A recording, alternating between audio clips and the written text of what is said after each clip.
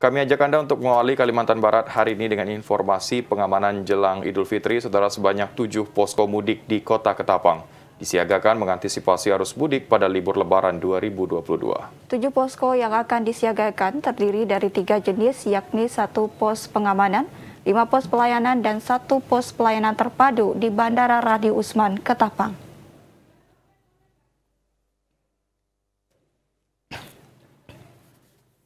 Kapolres Ketapang AKBP Yani Permana mengatakan jelang Lebaran Idul Fitri 1443 Hijriah pihaknya bersama tim gabungan yang terdiri dari Polres, Kodim 1203, Ketapang, Polisi Pamung Praja, Perhubungan, dan BPBD Ketapang menyiagakan personil di tujuh pos tersebut.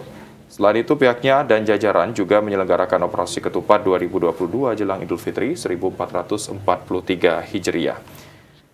Selain tujuh pos yang ada di Ketapang, pihaknya juga melakukan pengamanan di seluruh wilayah perbatasan Ketapang, mulai dari Simpang Hulu ke Ketapang dan Manis Mata ke Ketapang.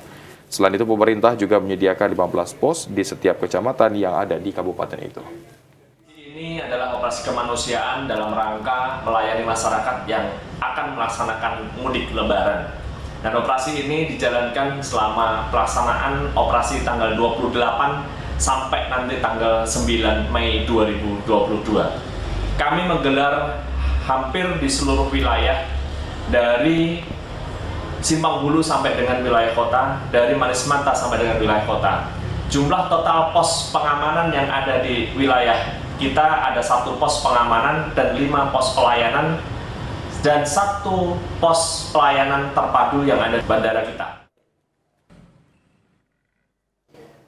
Kapolres Ketapang AKBP Yani Permana menghimbau masyarakat Ketapang yang mudik lebaran tetap mematuhi lalu lintas dan menjaga protokol kesehatan COVID-19 karena COVID-19 masih belum berakhir.